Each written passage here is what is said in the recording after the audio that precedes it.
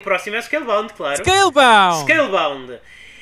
Eu achei que todos os jogos apresentados, não digo que é o menos interessante, porque eu achei interessante, mas acho que é, número um, o mais feio.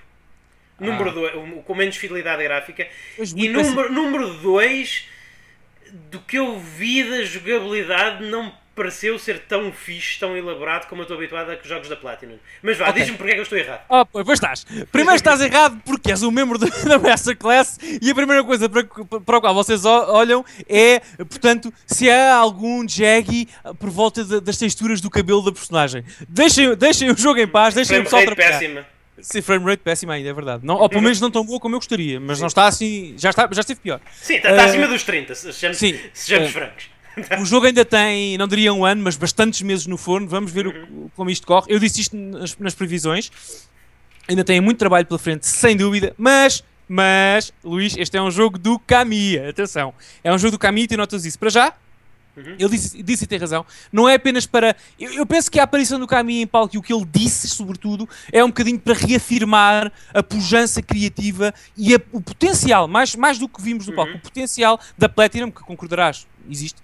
Uh, Sim, sim, sim, porque dúvida. de facto ele foi apresentar uma uh, boss f- uh, fight em maior escala da história da Platinum, foi palavras dele, uh, e de facto embora a fidelização, a fidelização, a fidelidade gráfica não seja ainda ótima e não seja aceitável para uma pessoa da Master Race como tu, para alguém da, da Peasant Class como eu, eu vejo as coisas pelo lado positivo aqui. Vi um jogo uh, co-op potencialmente divertidíssimo.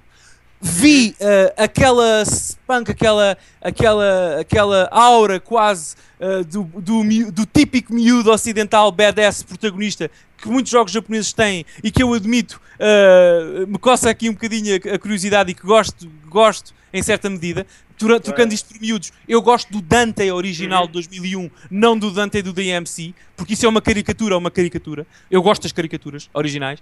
Uh, portanto, gosto desta personagem, gosto do facto dele pôr os headphones quando quer lutar a sério. São estas pequenas coisas Sim, que sim, a Peasant sim. Class, como eu, gosta de japoneses. E, e, curiosamente também tem o modo Demon, ou seja. o- Tem um modo, eu gosto do modo Onimusha, o modo Onimusha, gosto o bastante. Onimusha. Gosto, gosto, gosto daquela barra de stamina ou de, de energia, digamos sim, assim, sim. que ele tem quando está nesse modo. Portanto, o meu tem- problema, eh, Daniel, não é tão- estilisticamente, artisticamente gosto do jogo. Já, já falámos muito e acho que vamos Sim, ficar sim, ainda sim, mais sim. vezes nesta questão de artisticamente. Artisticamente gosto muito. Bem conseguido, sim. Eu, e, ok, eu comecei com os gráficos assim para ser um bocadinho embirrante, mas não, não, não me vejo eh, não, não me vejo a não gostar deste jogo por causa dos gráficos. Agora, Não. realmente o que eu vejo é, é- é o o estou- eu estou habituado a que os jogos da Platinum sejam quase tão baléticos e aquilo que eu vejo são qu- quatro gajos a meter-se à volta de um, ponto, de um ponto fraco e a começar a fazer spam do botão de ataque. Não vejo aqui Ah. aquela perícia e, e, aquela, e, e aquele balé marcial que eu associo aos jogos de ação da Platinum. Ah, ainda, Luís, eu acredito no potencial disto, sinceramente, porque ainda que tu tenhas que ou possas remover algum, ah, alguma competência estilística, se quiseres, no que diz respeito ao combate, simplificar um bocadinho mais a abordagem do combate para depois teres também mais três pessoas a lutar contra o mesmo boss neste caso. Portanto, é, como deves reparar, nem tudo pode ser um Ninja Gaiden desta vida, nem um Vanquish. Não, eles não podem fazer o que fizeram no Vanquish com mais três pessoas reais a- a lutar. Acho que concordarás, concordarás com isso. Eu acredito. Eu, eu concordo, só acho que eh, para fazer uma coisa que não seja isso, eu tenho muitos estúdios. Para fazer isso, só tenho a Platinum, percebes? Tu- tu- Percebo totalmente, mas, mas eu não vi, e, pondo, a pondo as coisas, tentando pôr as coisas, Luís, o que estás a dizer, noutro prisma, eu também não vi o suficiente para afirmar já que um motor de combate mais refinado não, não estará no produto final. Percebes? Eu, eu não- eu não quero comprometer um- com a minha resposta porque eu também não sei muito ainda. Acredito que seja de facto, tenhas razão, que seja um bocadinho mais simplificada relativamente a jogos até como Bayonetta e Vanquish, sem dúvida nenhuma, mas acredito também na competência da Platinum para criar aquilo que não conseguiu fazer com jogos como, como os Ninja Turtles, que irão agora há pouco tempo, que é Sim. criar um jogo de ação co-op consistente, focado e em que a mecânica seja equilibrada entre os quatro participantes.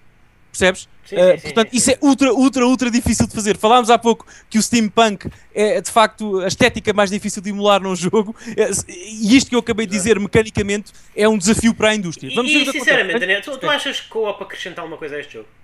que o co-op. ah, Houve, sim, por duas razões. Primeiro, porque a Cap. ah, ah, peço desculpa, a Platinum nunca fez um bom jogo co-op. um, um jogo em que a experiência co-op fosse boa. Na minha opinião, nunca fez. Nunca fez, quer dizer, não, nunca me convenceu. E depois, uh, porque, Luís, e pegando nas tuas Uhum. palavras, e se calhar também di- dizendo isto um bocadinho para birrar um bocadinho contigo, Sim.